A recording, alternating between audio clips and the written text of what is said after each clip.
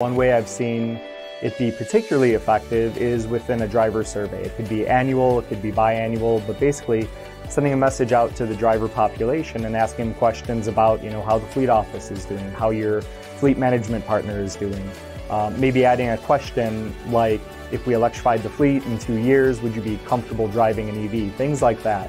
The more important part of all of that would be taking that information and actually building an action plan and communicating that back to the drivers. An example is during the survey, um, a lot of drivers said that it was very hard bringing marketing materials into a, a vehicle.